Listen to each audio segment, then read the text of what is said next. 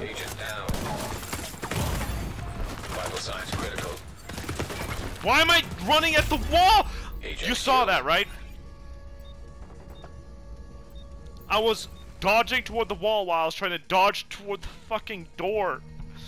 God damn it, the game is so fucking stupid sometimes. Tom Clancy, you make the worst, best games on the planet. Yes, his games are simultaneously the best, but also I wouldn't even wipe my dog's feces with this game. I knew they had a